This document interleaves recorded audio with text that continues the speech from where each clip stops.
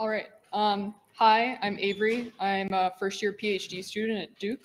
Um, and I worked on this starting during my undergrad at Columbia and then after graduation over the summer at IBM Research with George, James, and Hubertus.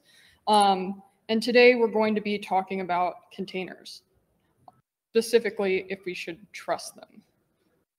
Um, okay, so containers are very popular. They're very scalable, um, they're very lightweight, but right now we currently trust them blindly.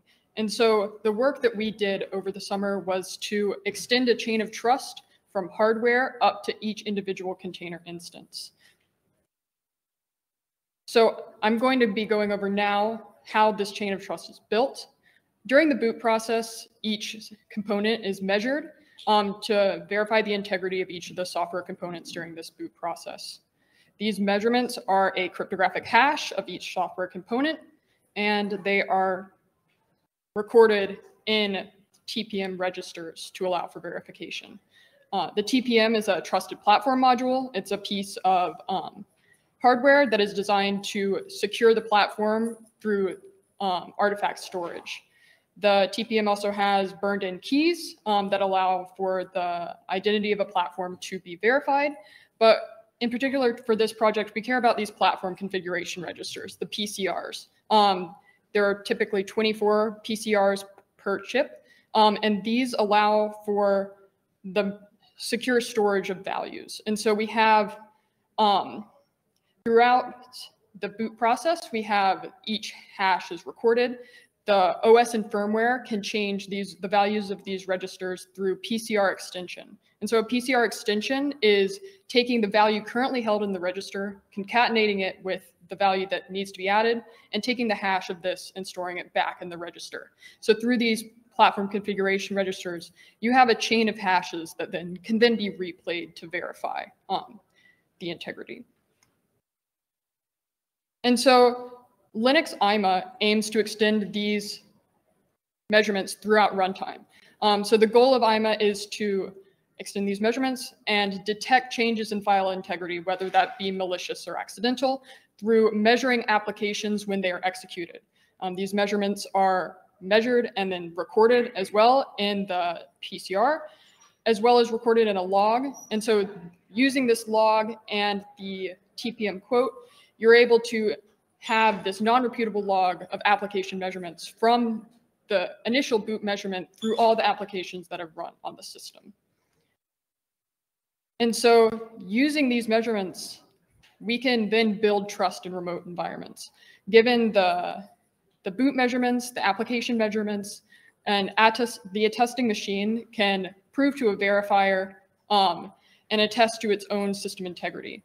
Um, this is done through a TPM quote or any other evidence that the attesting machine gives to this remote verifier.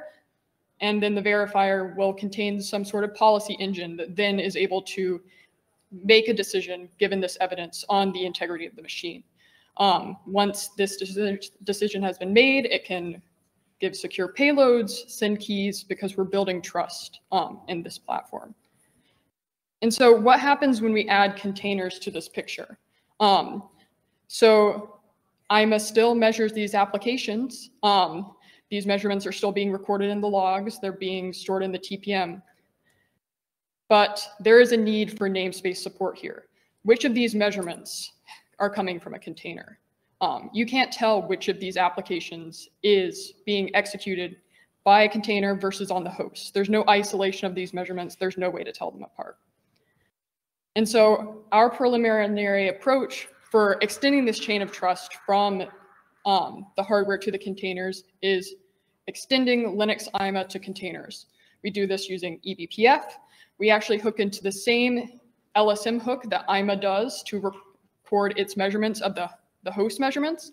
And so we load an eBPF program, attaching it to the LSM hook mmap file.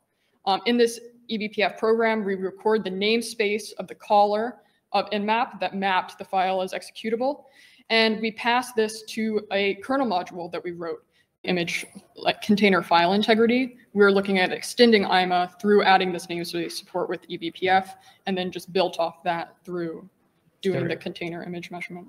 Are there any sort of size issues with like uh, IMA being an append-only log? Um, it would depend on your IMA policy as well as how many containers you're running. Um, the IMA files can get a bit large, um, but I think there are some patches to deal with that in the future. Probably scaling will be an issue at some point.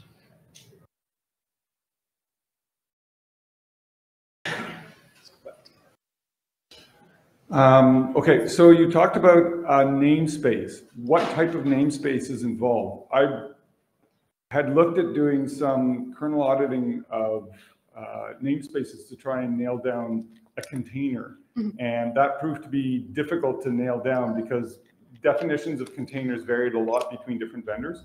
Yeah. And so I eventually abandoned the idea of, of logging a set of namespace identifiers and moved towards a container identifier in the kernel itself.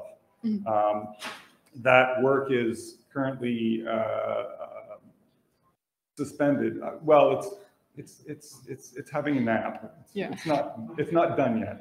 Um, So I, I guess the question is which namespace, or is it a collection of namespaces? Um, we were initially working with cgroup namespaces. Um, and that's one line of code. So we've kind of been switching back and forth to see the granularity that we can get for these attestations. Um, so I guess the, the point is that it's configurable. Um, we're still trying to figure out which one we can nail down to get the, the, the most granularity for them. Good luck with that. Thanks.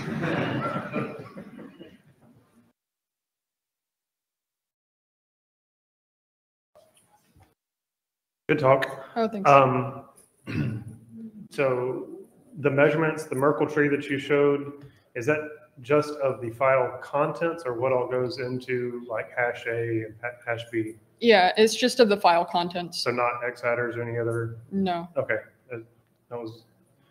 Um, and then second, la- lastly, the, the ask for them to be distributed.